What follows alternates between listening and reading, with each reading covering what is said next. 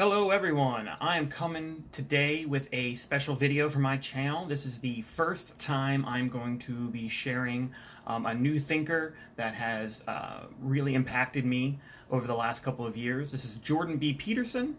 Um, many of you may be familiar with his work. He has gotten quite famous over the last couple of years uh, from his YouTube channel and his books and his lecture series his thinking has been very impactful for me, and I think that uh, more people in the creative community should listen and understand the kind of things he's saying. So I have uh, taken a clip from this wonderful new lecture he has put out, and I have paired it up with this illustration that I was inspired to make based on a lot of the thinking and the ideas around Jordan, uh, what he's been doing with his lecture series and his biblical series and all that kind of stuff. So I hope you enjoy.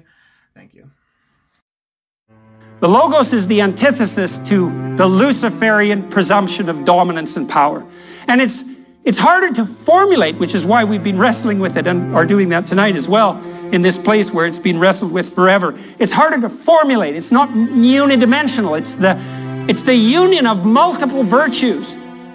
And so it's a tricky thing to grip. And it's so tricky that we don't have it fully articulated. And we've approached it, I would say, through narrative. And one of the things I've come to realize about the biblical narrative, and this is what I'm writing my next book about, which is called We Who Wrestle with God. And I suppose this lecture is a pre uh, preview of that of the ideas in that book. Um, we characterize that which must exist at the pinnacle of the hierarchy of intentional prioritization with the characterization of the divine in narrative. You might say, well, what's divine? Well, we could define it technically. Divine is that which is deepest. What's deepest? That which most other things depend on. That's a good definition of depth. A deep and profound piece of literature, Milton, is the foundation stone for many branches of literature. There's many literary products you can't understand without understanding Milton. And you can't understand Milton without understanding the biblical corpus, which is even deeper and in that sense more profound given the metaphoric relationship between the idea of profundity and depth. And the, why is the biblical corpus deep? Well, it's an attempt to flesh out, using narrative characterization, the nature of the spirit that has to inhabit the highest place in the hierarchy of attentional and action priority. And so why would I say spirit? Well, because it's an embodied, it's something embodied. It's not a description of the world. It's a pattern you enact and embody. And so when you're called to God and the Logos through the biblical corpus, you're called to allow yourself to be possessed by the Spirit that represents the union of awe-inspiring, imitatable virtues. And then you might say, well, what are those? And I can, I can walk through some of them just so you get a sense of this. I don't want to do it exhaustively. In the opening chapters of Genesis, which is where the idea of the Logos is highlighted above all else in some real sense, you have this notion that whatever God is uses whatever the Logos is to extract habitable order from potential. And the tohu vabohu, that's the chaos, is a weird intermingling in the linguistic sense of chaotic possibility of the world per se with confusion and psychological disorientation. And so it's an amalgam, that chaos. And it's, it's the chaos you feel when a plenitude of possibilities opens up in front of you, which is destabilizing and psychologically challenging, especially if the purview of possibility is beyond your ability to contend with. But you can see the massive possibility conjoined with a sense of anxiety. That's too much possibility. To bring order to that, you cast your attention upon it and you prioritize it, and God imposes a benevolent order upon that chaotic possibility, extracts from that chaotic possibility the habitable order that is good. And the reason that the habitable order that's extracted is good is because God uses the logos, which is something like a combination of orientation towards the highest possible good, which you could think of as love, and truth. And one way of characterizing the imitatable manifestation of the Logos is that it's the nexus of love and truth. And I think it's truth embodied in love or embedded in love, with love being superordinate. Um, But that's a partial description, and it's disembodied and abstract in some sense, and doesn't have the grip necessary to compel you to act, to imitate. And so what you see in the biblical corpus are continual representations of the spirit that must occupy the highest place in the hierarchy of imitable, mimicable action as a, a, a, pattern that possesses your perceptions and actions and calls you into the world. And so, for example, in the story of, of uh, Adam and Eve, once Adam and Eve are thrown out of the garden because they become prematurely self-conscious and prideful in some real sense, God is presented as the spirit that you walk with when you walk unself-consciously in relationship to the highest in the garden. And that's actually an experiential reference, as you imagine you're having a particularly good day in a particularly beautiful garden, like the day we had today. It's like, are you closer to God? Well, the answer is experientially, well, yes, because you feel you feel that your existence is imbued with a deep sense of appropriate significance. That's not a rational, secondarily derived argument. It's primary. It's a primary experience. And part of what the biblical corpus is trying to do is to lay out the nature of the spirit that inhabits you when you're oriented towards the highest possible good and to point out that that's phenomenological, it's experiential, it's existential, it's embodied. It's not a secondary overlay of the description of the nature of the world on the world. That's not what the biblical corpus is trying to do. So in the story of Cain and Abel, what's God? God is that which calls you to make the appropriate sacrifices and calls you on it when you don't. And try to escape that and see what happens. We know perfectly well, perfectly well, that that's a pathway to hell. And you might say, I don't believe in hell. And I would say, that means you don't know anything. Noah, what's, who is God or what is God in the story of Noah? the spirit that calls the wise to prepare in the face of crisis. Do you abide by that or not? Well, you do if you're wise and you do if you care about the people around you. Abraham, what's God? The spirit that calls the inappropriately luxuriating out to the terrible adventure of their life and that then requires of them the highest possible sacrifice to obtain the highest possible goal. In Exodus, what's God? The spirit that lays tyranny to waste. The spirit that guides you through the desert of the soul. The spirit that orients you towards the promised land and imbues you with the enthusiasm that allows you to make your way out of the tyranny and through the desert. And so on. And each story is part of a circumambulation, a narrative circumambulation that's attempting to represent the union of virtues that could be embodied in perception and action that constitute the pinnacle of the pyramid. And that, by the way, pyramid, that's Mount Sinai. That's the proper hierarchical organization of society. That's the aesthetic model for the construction of the Ark of the Covenant. It's all of that simultaneously. It's the Egyptian pyramid with the gold cap. The question is, what's the cap? What's at the highest? Well, that is the mystery. What should be placed in the highest place? We already said, well, something better be, because if nothing's placed in the highest place, then there's nothing in the highest place. And what's the consequence of that?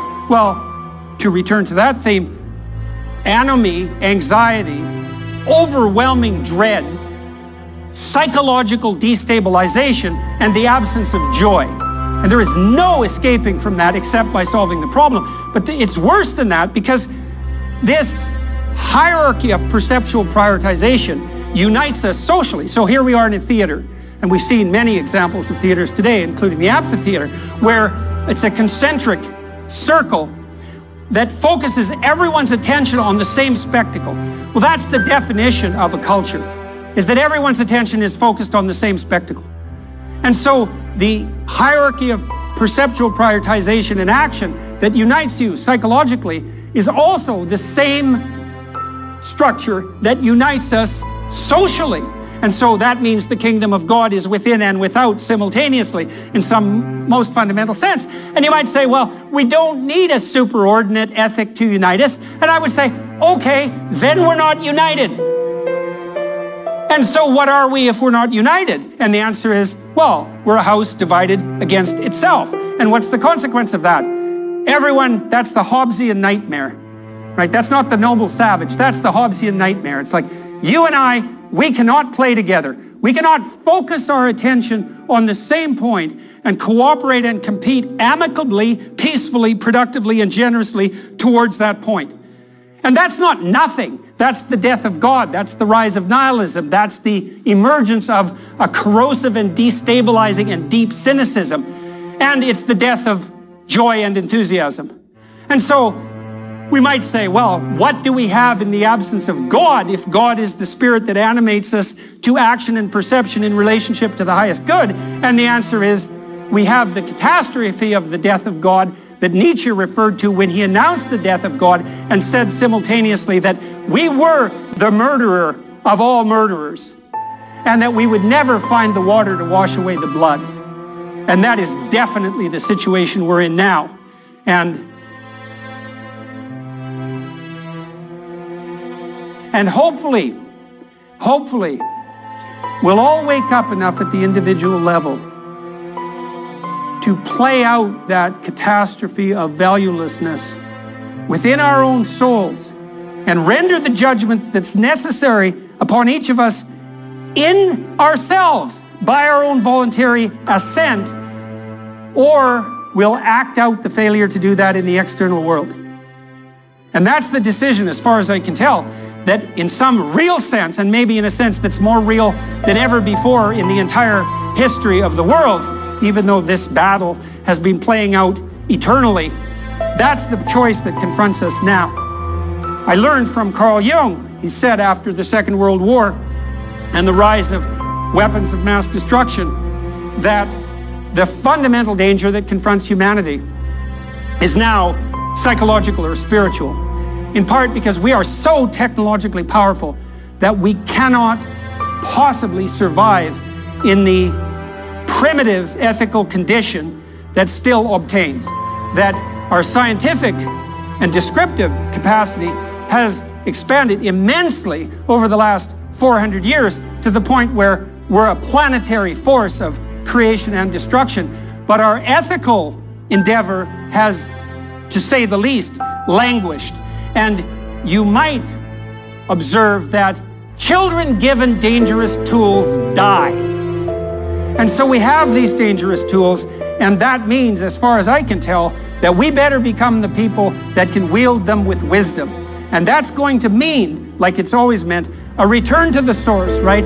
A willingness to rescue the dead father from the belly of the beast, right? A willingness to make conscious the nature of our hierarchy of perceptual priority, let's say, and to understand that that's a reality that might be superordinate to what we normally and have been taught to view as reality itself. And that the biblical notion that in some sense the word is the precursor to being itself actually turns out to be true. And it's a terrifying idea because it means in some real sense, and I also believe this to be the case, and I think it's also reflective of the deep notion of the Logos, what that means is that in some cosmic sense, it's on you. And you know, we have this notion that human beings, men and women alike, are formulated in the image of God, in the image of the Logos. And we believe that. And what do I mean by that? Well, it's an axiom of our laws. It's an axiom of our constitutional system, certainly in a country like Britain or, or, or America, any of the Western democracies, and to a large degree, any country that can function at all. There's the presumption that each person is a locus of divine value. And you think, well, do you want to live in a society that assumes that? Or do you want to live in a society that doesn't? And then you might also ask, do you want to have friends that assume that of you? Or do you want to have friends that don't? And the same thing might apply to the people that you love in your actions towards them. How are you treating them if you treat them properly? And I can't see, even speaking merely psychologically, that you can love someone and not treat them in some most fundamental sense like they're a divine locus of value. I think those are the same thing. And you can quibble about the linguistic representation necessary to derive that conclusion, but have it your way. You're going to act out your decisions one way or another. You're going to learn in the world just exactly what attitude you should bring to bear if you want to elevate those around you and simultaneously do the same to yourself. And you will find that if you do that, to the degree you do that, you are treating each person as if they're a divine locus of value and responsibility. And that's a terrifying thing too, because I read something once, I don't remember who said it, that God is a circle whose center is everywhere and whose circumference is nowhere. And I read commentaries on that idea indirectly, obliquely, by Dostoevsky and Solzhenitsyn, Jung as well, perhaps above all else, stating that we are each a center of the world. We each have a cosmic role to play. And you can think about it this way, and this is a useful way to think about it. You have potential within you to match the potential that's without, let's say. And we all upbraid ourselves and call ourselves out on our failure to manifest that which was that which is within us. And so here's a proposition for you. The world is languishing to the degree that you are not all you could be. And that could really be the truth. And to the degree that we're made in the image of God and made in the image of Logos, and also the entity that has to undergo the tragic death that's represented by Christ, and maybe the encounter with hell that's part of the story of the resurrection. That's us. That's what we face. And so I'll conclude my discussion of the characterization of the spirit that occupies the pinnacle of the hierarchy of attentional priority with the story of the passion, which is the full embracing of the catastrophe of life.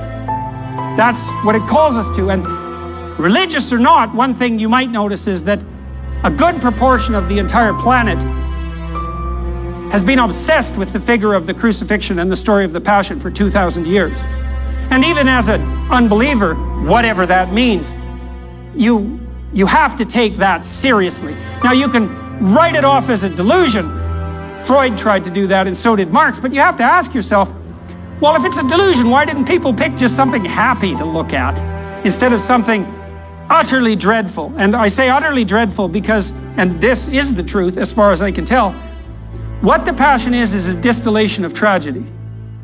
So imagine that in order to contend with your life, you have to be willing to embrace its darkest elements. You might say, why? And I'd say, well, hey, the darkest elements are there and they're coming. And if you're not prepared, they're going to it's going to be far worse than it has to be, at minimum. And maybe it'll just lead to your destruction in ways that are worse than death. And that's a high probability. And so in order to live you have to confront life fully. And that means you have to accept the unjust sacrifice of the innocent in some real sense. And that's you. And that's not even enough. You see, in the Christian passion, why is it the ultimate tragedy? Well, tragedy is undeserved catastrophe, let's say. Well, then you amplify the catastrophe. Youthful death, torturous death, death with foreknowledge, humiliating death, death at the hands of the mob, death as a consequence of betrayal, death in the, in the purview of your mother's vision, death despite your innocence, death despite your moral virtue, death despite the moral virtue that you have that everyone knows about and recognizes and still sentences you to death. Death at the hand of a tyrant, death at the hand of a nihilist. And then that's not enough because in the cloud of myth that surrounds the characterization of the embodied logos, and that's Christ. Following the radical acceptance of death is the radical confrontation with hell. And that's the harrowing of hell. And the story there says, in order to open yourself up maximally to the possibilities of life, not only do you have to contend with the tragedy of your own innocent sacrifice and be on board with that fully or pay the price, but you have to confront the gates of hell itself. And you might say, well, what does that mean? And, you know, our culture has been obsessed, in principle, since the end of the Second World War with what happened in Nazi Germany. And that's as good an example of hell as anything that could be presented to the corpus of unbelievers who disavow any recognition of hell. And if what happened in the Nazi death camps isn't enough hell for you, uh, then I would suggest that you update your prioritization of perception and value because it was cert- it's certainly enough hell to be convincing if you look at it thoroughly. You know, one of the things I tried to do when I studied the Holocaust and also the events in the Gulag was to put myself in the position not of the victim and certainly not of the heroic rescuer, but of the perpetrator. And with a bit of meditation, you can discover pretty damn rapidly that you could be a perfectly effective torturing Auschwitz camp guard. And that's a hell of a thing to contend with. And I would say in some real sense, that's worse than contending with death. And I would also say that if you don't do it, you cannot stop it. If you're unwilling to see the part of you, and that's a Luciferian part in the most fundamental sense, if you're unwilling to face that, to the degree that you're unwilling to face that, that's the spirit that possesses you. And in a world like our world, that is not something that we can continue to do and get away with it. So, we're all called together here at Ephesus, which is quite remarkable for us all to be here. And what are we called to do? Wake up. We have a moral burden to bear, and that's the adventure of our life. That's the other thing. So interesting about the Abrahamic story is that God calls Abraham out of his luxurious slumber and sends him into a catastrophe. Tyranny, starvation, war, brutal. But he has the adventure of his life. You might say, well, the, it's the adventure of your life that justifies the catastrophe of your life. It's not some simple-minded, juvenile hedonism or desire for comfort. That's not what we're built for. We're built for the adventure of our lives. And where do you find that? You find that in orienting yourself to the highest possible good in all ways and speaking the truth forthrightly along that pathway. Thank you very much.